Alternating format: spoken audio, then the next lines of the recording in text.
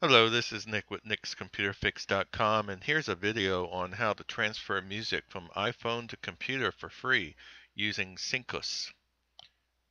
Okay, let's get started by going out to their website and on their home page we can take a look at what else you get for free in this app. You get the ability to back up your music, transfer photos, manage ebooks, manage contacts, manage apps, and you also get to convert videos. You get a lot for a free application. We can download now, but before we do, let's take a look at a screenshot of uh, backing up your music and transferring it to your computer from your iPhone. We'll scroll down here. We'll click on this screenshot here. So you can see that this is a very user-friendly interface to use. Let's go ahead and close this out and click on the download and get this downloaded to our computer. In IE, I get this prompt, uh, this type of file could harm your computer. I know this file is okay and safe to download. So I'm going to go ahead and click on save.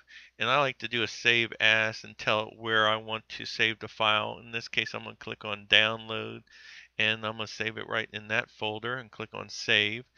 Um, I speeded things up here, but it doesn't take too long to download this uh, this app. All right, once it's done, um, I'm going to just go ahead over here and click on Run.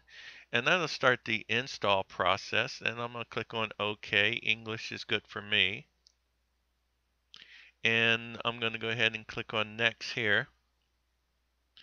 And I agree with the license agreement. I'm going to click on Next.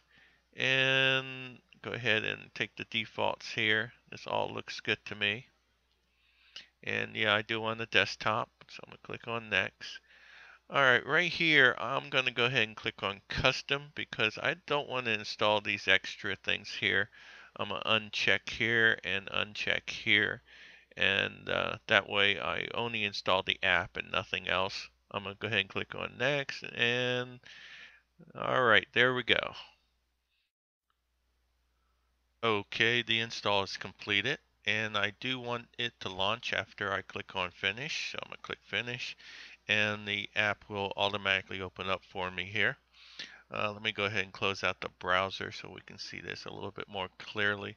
Okay, this is the interface that you get when you first open. You need to plug in your iPhone and it becomes fully functional.